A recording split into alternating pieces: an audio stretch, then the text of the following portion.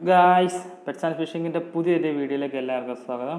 ഇപ്പോൾ തമ്പിലേയും കണ്ടപ്പോൾ നിങ്ങൾക്ക് കാര്യം മനസ്സിലായി കാണും. ക്രാങ്കർ നമ്മൾ അതിനെക്കുറിച്ചാണ് ചെറിയ ഈ ക്രാങ്കർ എന്തുകൊണ്ട് വരുന്നു അതിന്റെ ഡീറ്റെയിൽ ആണ് കുറച്ച് കാര്യങ്ങൾ പറയാൻ വേണ്ടി ഉദ്ദേശിക്കുന്നത് അപ്പം നമ്മുടെ ഈ ആഡിയോ മാക്സിമം ഫുള്ളായിട്ട് സ്കിപ്പ് ചെയ്യാതെ കേൾക്കാൻ ശ്രമിക്കുക. അപ്പം നമ്മുടെ ഈ ആഡിയോ നിങ്ങൾക്ക് ഇഷ്ടപ്പെട്ടെങ്കിൽ മറക്കാതെ ലൈക്ക് ചെയ്യുക ഷെയർ ചെയ്യുക സബ്സ്ക്രൈബ് ചെയ്യുക. അപ്പോൾ നമുക്ക് നേരെ വീഡിയോയിലേക്ക് പോകാം. ഗായ്സ് അപ്പം നമ്മുടെ പുതിയൊരു വീഡിയോയിലേക്ക് എല്ലാവർക്കും സ്വാഗതം. അപ്പോൾ നമുക്കിന്ന് കണ്ടപ്പം കാര്യം മനസ്സിലായി കാണും. ക്രാങ്കർ. അപ്പം ക്രാങ്കർ എന്ന് പറഞ്ഞ പ്രാവിന്റെ ഒരു അസുഖത്തെ പറ്റിയാണ് നമ്മളിന്ന് സംസാരിക്കുന്നത്. അപ്പം ഇത് എല്ലാവർക്കും നോർമൽ എല്ലാവർക്കും ക്രാങ്കർ വന്നു കഴിഞ്ഞാൽ എന്തൊക്കെ ചെയ്യണം? നമ്മൾ മെഡിസിൻ കൊടുക്കാറുണ്ട്. അതുപോലെ തന്നെ ക്രാങ്കർ വന്ന എടുത്ത് കളയാറും ഒക്കെ ഉണ്ട്. പക്ഷേ ക്രാങ്കർ എന്ന് പറഞ്ഞാൽ രണ്ട് തരം ക്രാങ്കാണ് ഉള്ളത്.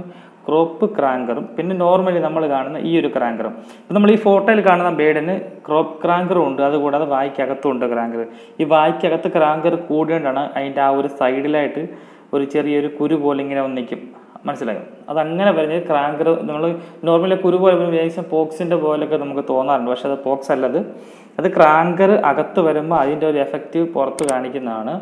അപ്പം അത് നമ്മൾ അകത്തെ ട്രീറ്റ്മെന്റ് ചെയ്തുകൊണ്ടിരിക്കുക തന്നെ നമ്മളത് മാറുന്നതായിരിക്കും. അപ്പം ഈ ക്രാങ്കർ എന്തുകൊണ്ട് വരുന്നു എന്നാണ് നമ്മൾ ഇന്ന് നമ്മുടെ വീഡിയോയിലൂടെ നമ്മൾ പറയാൻ വേണ്ടി ആഗ്രഹിക്കുന്നത്. ക്രാങ്കർ എന്ന് പറയുന്ന ഒരു അസുഖം നമുക്ക് വരുന്നത് കൂടുതലായിട്ടും വരുന്നത് കുഞ്ഞുങ്ങൾക്കാണ്. പ്രാവിന്റെ കുഞ്ഞുങ്ങൾക്കാണ്. അത് വരാൻ കാരണം പേരൻസ് കുഞ്ഞുങ്ങൾക്ക് ഫീഡ് ചെയ്യുന്ന സമയമാണ് കൂടുതലായിട്ട് ക്രാങ്കർ വരാനുള്ള സാധ്യത കൂടുതൽ. ക്രാങ്കർ വരുന്നത് മെയിനായിട്ട് ഉദ്ദേശം എന്ന് വെച്ചാൽ നമ്മൾ കൊടുക്കുന്ന ഫുഡിൽ നിന്നാണ് ക്രാങ്കർ കൂടുതലായിട്ട് വരുന്നത്.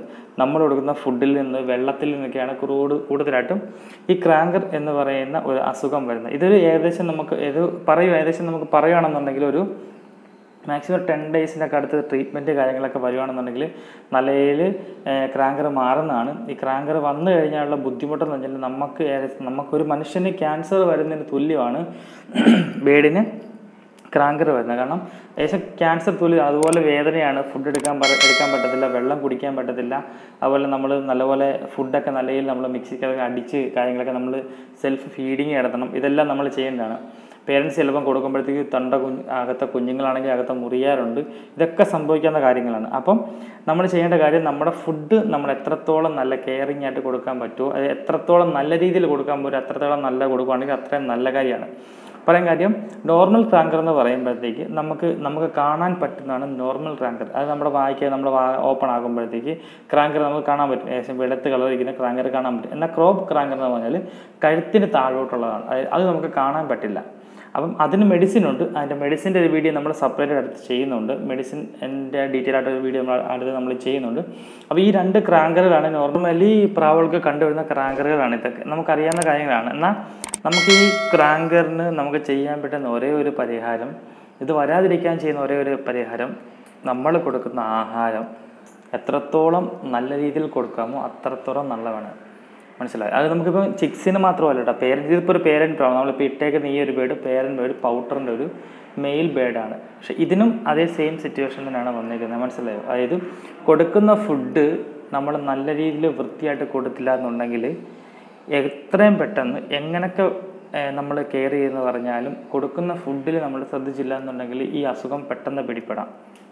ഇത് വന്നു കഴിഞ്ഞാൽ നമുക്ക് പെട്ടെന്ന് തന്നെ ട്രീറ്റ്മെന്റ് ചെയ്ത് മാറ്റാവുന്നതാണ്. എന്നാൽ ഇതിന്റെ ലക്ഷണങ്ങൾ എന്ന് പറയുമ്പം പ്രാവ് തൂങ്ങിയിരിക്കുക പ്രാവ് ഫുഡ് എടുക്കാതിരിക്കുക. ഫുഡ് എടുക്കാതിരിക്കുമ്പോൾ നമ്മൾ നോർമലി പിടിക്കും പ്രാവിന് വെയിറ്റ് തോന്നാതിരിക്കും. അതായത് വെയിറ്റ് തീരെ കാണത്തില്ല. പിന്നെ ഫുഡിങ് കുറവായിരിക്കും. പറയാൻ കാര്യം ഫുഡ് ഉള്ളിലേക്ക് എടുക്കാനായിട്ട് സാധിക്കത്തില്ല. അപ്പം അങ്ങനെയുള്ള ബുദ്ധിമുട്ടൊക്കെ പ്രാവിന് വരും. അങ്ങനെ വരാതിരിക്കാൻ വേണ്ടി നമ്മൾ ആദ്യമേ ചെയ്യേണ്ട കാര്യം നമ്മൾ ആദ്യം പറഞ്ഞ തന്നെ നല്ല ഫുഡ് കൊടുക്കുക. മാക്സിമം നിങ്ങൾ ഫുഡ് കൊടുക്കുമ്പോഴത്തേക്ക് ഒരു നാല് വട്ടം അഞ്ച് വട്ടമെങ്കിലും വാങ്ങിക്കൊണ്ടിരിക്കുന്ന എന്ത് ഫുഡാക്കട്ടെ ഇപ്പം മിക്സഡ് ഫുഡാണെങ്കിലും നമ്മുടെ പരിപ്പ് പയർ അല്ല ചെറുപയർ അല്ലെങ്കിൽ ഗോതമ്പ് ആയിക്കോട്ടെ.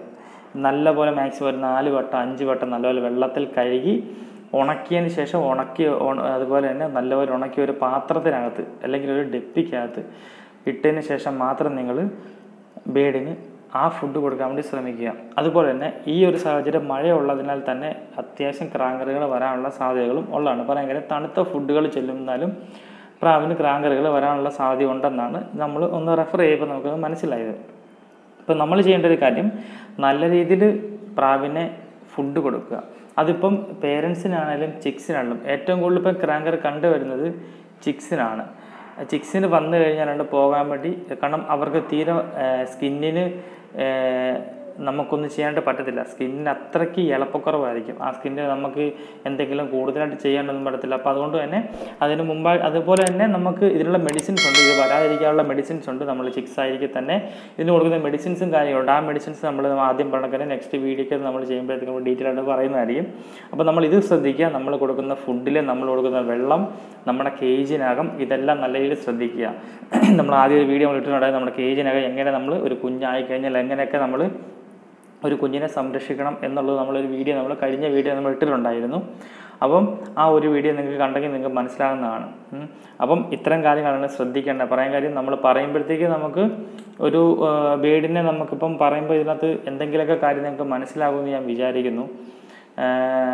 അതുകൊണ്ടാണ് നമ്മളിപ്പോൾ ഇങ്ങനെ ഒരു ആടി വിടാൻ വേണ്ടി നമ്മൾ ഒരുങ്ങിയത്. ഇപ്പോഴത്തെ സാഹചര്യത്തിൽ മഴയും കാര്യങ്ങളും നാട്ടിൽ കൂടുതലായതുകൊണ്ട് തന്നെ ക്രാങ്കർ എന്നുള്ള അസുഖം വരാനുള്ള സാധ്യതകളും ഉണ്ട്. അതുകൊണ്ടാണ് നമ്മൾ ഇന്നൊരു ഇങ്ങനെ ഒരു ആടിയെ നമ്മൾ ഇടാൻ വേണ്ടി നമ്മൾ വിചാരിച്ചത്.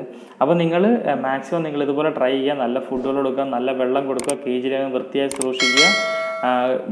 ഫുഡ് അഴുക്കാകാതിരിക്കണം എന്നുണ്ടെങ്കിൽ നമ്മൾ ആ ഉണക്കി വെച്ച ഫുഡിനകത്തേക്ക് നമുക്ക് വേണമെങ്കിൽ കറിവേപ്പിലയോ അല്ലെങ്കിൽ നമ്മുടെ ആര്യവേപ്പിന്റെ ഇലയോ അല്ലെങ്കിൽ വെളുത്തുള്ളി ഇങ്ങനെയുള്ള കാര്യങ്ങളൊക്കെ നമ്മൾ എടുത്തു എടുത്തിടുകയാണെന്നുണ്ടെങ്കിൽ അല്ലെങ്കിൽ മഞ്ഞപ്പൊടിക്കകത്ത് കുഴച്ച് വെക്കുകയാണെന്നുണ്ടെങ്കിൽ ചെല്ല് മുതലായ കാര്യങ്ങളൊന്നും കയറത്തില്ല നമുക്ക് അതുപോലെ തന്നെ ഫുഡ് നല്ല വൃത്തിയായിട്ട് ഇരിക്കുകയും ചെയ്യും. നമുക്ക് ഫുഡ് എടുത്താൽ കുഞ്ഞുങ്ങൾക്ക് പ്രശ്നമില്ല. അതുപോലെ തന്നെ പേരൻസിനും പ്രശ്നമില്ല. അതൊക്കെ വരും. നല്ല രീതിയിൽ കുഞ്ഞുങ്ങളെയും കിട്ടും. പേരൻസിന് അസുഖങ്ങളോ കാര്യങ്ങളോ ഇതുപോലെ ക്രാങ്കറോ കാര്യങ്ങളൊന്നും വരാതിരിക്കുകയും ചെയ്യും. അപ്പോൾ നിങ്ങൾ ഇതൊന്ന് ഫോളോ ചെയ്യുക. അതുപോലെ തന്നെ നമ്മുടെ ഈ ചെറിയ വീഡിയോ നിങ്ങൾക്ക് ഇഷ്ടപ്പെട്ടെങ്കിൽ മറക്കാതെ ലൈക്ക് ചെയ്യുക ഷെയർ ചെയ്യുക സബ്സ്ക്രൈബ് ചെയ്യുക. തൊട്ടടുത്തുള്ള ബെല്ലൈക്കൻ കൂടി ഒന്ന് എനേബിൾ ചെയ്യുകയാണെന്നുണ്ടെങ്കിൽ നമ്മളിടുന്ന വീഡിയോസ് ഓഡിയോസ് നമ്മൾ ചെറിയ വീഡിയോസ് എല്ലാം നിങ്ങൾക്ക് നോട്ടിഫിക്കേഷൻ ആയിട്ട് വരുന്നതായിരിക്കും. അതുപോലെ നിങ്ങളുടെ വിലയേറെ അഭിപ്രായങ്ങൾ ലൈക്കിലൂടെ കമന്റിലൂടെ നിങ്ങൾക്ക് അറിയിക്കാവുന്നതാണ്.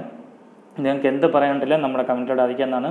നമ്മൾ പറഞ്ഞ ഇതിനകത്ത് പറഞ്ഞത് എന്തെങ്കിലും ഇതിൽ തെറ്റുകുറ്റം ഉണ്ടെന്നുണ്ടെങ്കിൽ നിങ്ങൾ ആ കമന്റിലൂടെ അറിയിക്കുകയാണെന്നുണ്ടെങ്കിൽ നമ്മൾ നെക്സ്റ്റ് വീഡിയോയിൽ നമ്മളത് കണ്ട് നമ്മൾ ആ ഒരു കുറവ് നമ്മൾ മനസ്സിലാക്കി നമ്മൾ ചെയ്യുന്നതായിരിക്കും. അപ്പോൾ നമ്മുടെ ചെറിയ വീഡിയോ നിങ്ങൾക്ക് ഇഷ്ടം ഇഷ്ടപ്പെട്ടെന്ന് കരുതുന്നു. ഇഷ്ടപ്പെട്ടെങ്കിൽ മറക്കാതെ ഇത് നമ്മൾ ആദ്യം പറഞ്ഞൊക്കെ തന്നെ ലൈക്ക് ഷെയർ സബ്സ്ക്രൈബ് ചെയ്യുക. അപ്പോൾ നമുക്ക് നാളെ അടുത്ത ദിവസം പറ്റുവാണെങ്കിൽ നമുക്ക് നാളെ തന്നെ നമുക്ക് മെഡിസിന്റെ ഒരു വീഡിയോ നമുക്ക് ഇടാം. നമുക്ക് ഈ ക്രാങ്കറിന്റെ അപ്പം ആ ഒരു നല്ല വീഡിയോ ആയിട്ട് വരുന്നവരേക്കും എല്ലാവരും സേഫ് ആയിട്ടിരിക്കുക. ഓക്കെ